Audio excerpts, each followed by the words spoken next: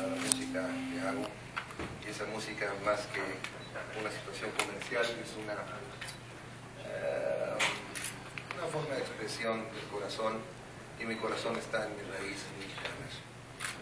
Entonces, qué bueno, esto es para, para mí muy importante, pero también lo dedico a todos los jóvenes que estén pensando en hacer algo con su vida relacionado a la música.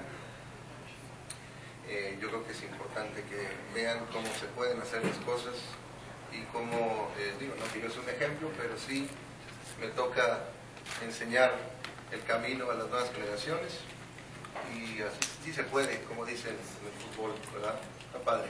Nos vemos en el foro el 17 de octubre por segunda